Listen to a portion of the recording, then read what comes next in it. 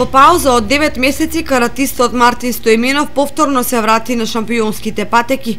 Овој пат го освои првото место на државното првенство за кадети, јуниори и јуниори до 21 година, кое се одржа во Скопје. Тој на првенството се надпреваруваше во категорија до 60 кг, јуниори до 21 година. За овој успех Стоименов истакнува. За две недели не очекува исто така уште едно изборно правенство, на кое учествуваат четворојцата најдобри во категоријата. Ке се бореме меѓу себе, кој освои прво место, според бодовите на селекторите, тој патува на светското правенство.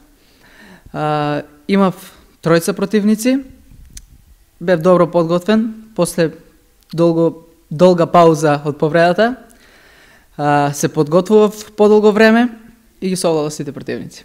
Па во иднина не очекува, исто така не очекува уште за месец дена не очекува државно правенство, тоа државно правенство ќе не биде за Европско правенство и за Балканско правенство.